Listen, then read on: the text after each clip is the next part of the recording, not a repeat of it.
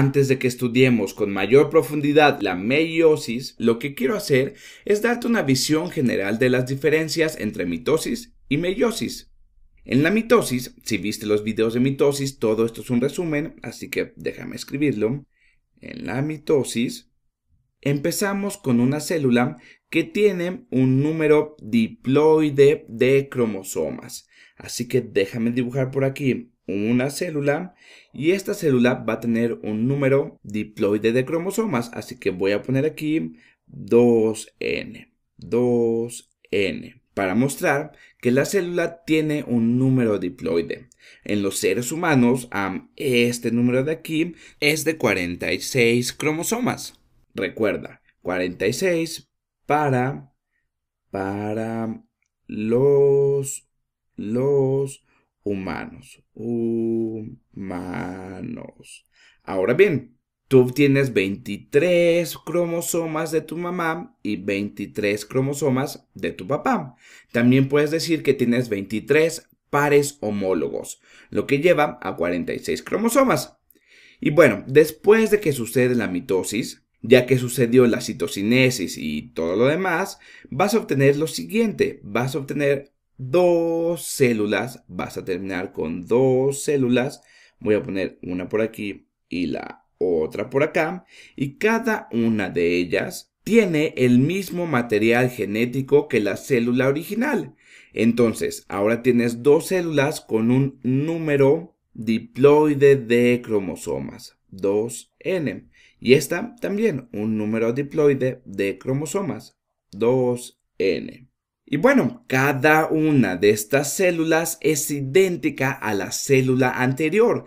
Estas nuevas células pueden entrar a interfase, crecer, replicar su ADN, su centrosoma y continuar creciendo. Y después pueden entrar en mitosis de nuevo. Y de hecho, por medio de este proceso es como la mayoría de las células de nuestro cuerpo crece.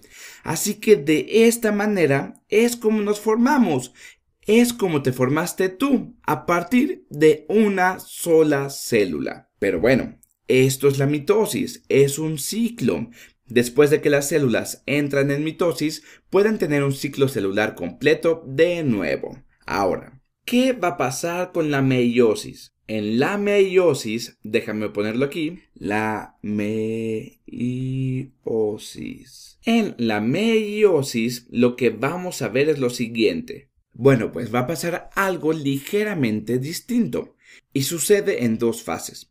Al igual que la mitosis, vamos a empezar con una célula, una célula que tiene un número diploide de cromosomas.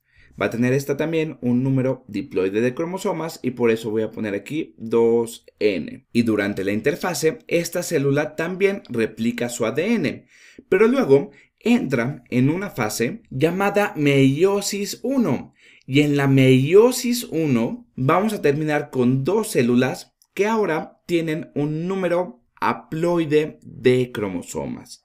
Vamos a tener un número haploide de cromosomas, así que déjame ponerla aquí, la otra por acá. Y ahora, en lugar de 2n, voy a escribir solamente n. Igual aquí, en lugar de 2n, voy a escribir solamente n. Si hablamos de los seres humanos, bueno, aquí tienes 46 cromosomas y 23 cromosomas en este núcleo y otros 23 en este otro núcleo. Pero esto aquí no termina. Lo que va a pasar después es lo siguiente. Cada una de estas células, de estas nuevas células, entran a una nueva fase, que es muy similar a la mitosis, donde se duplican cada una de estas células y se obtienen dos. Así que déjame ponerlo así. Voy a sacar dos de cada una de estas. Aquí voy a poner n porque cada una va a terminar con un número haploide de cromosomas. Aquí también y aquí también. Y déjame dibujar estas cuatro células. Aquí voy a tener una de ellas. Aquí voy a tener otra de ellas.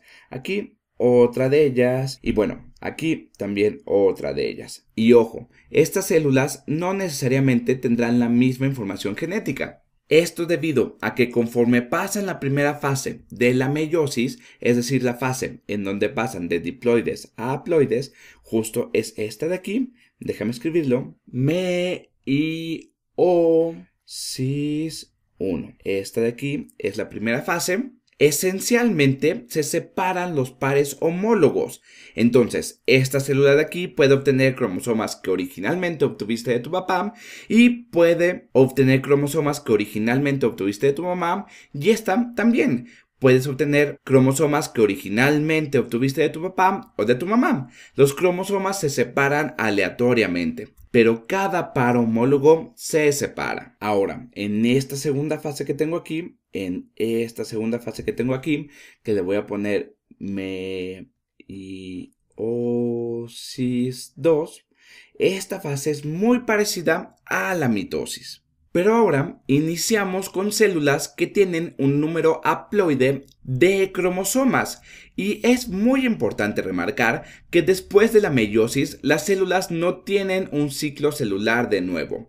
Estas células que tenemos aquí son gametos, son células sexuales. Déjame escribirlo.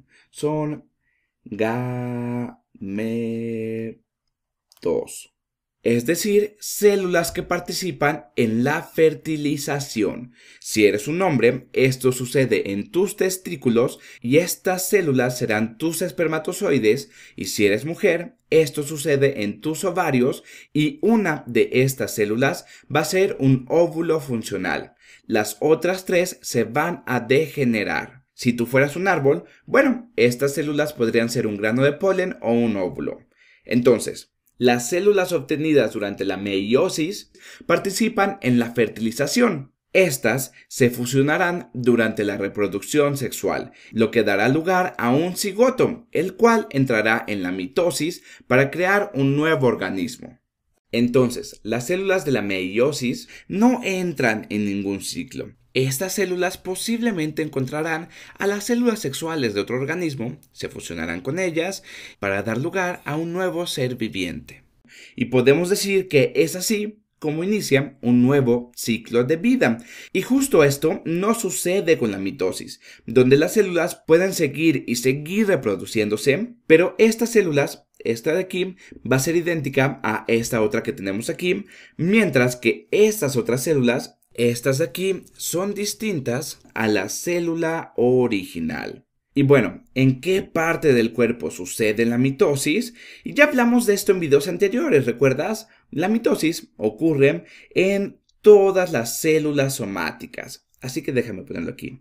En células somáticas. Estas son las que forman la mayor parte de tu cuerpo. ¿Y dónde sucede la meiosis? Bueno, estas son células germinales, células germinales, germinales, y son las que entran en meiosis. Como ya mencionamos, si eres hombre, estas células estarán en tus testículos y si eres mujer, estas estarán en tus ovarios. Por cierto, las células germinales tanto pueden entrar en mitosis y así producir otras células germinales que tienen un número diploide de cromosomas, como pueden entrar en meiosis y así producir espermatozoides u óvulos, es decir, gametos.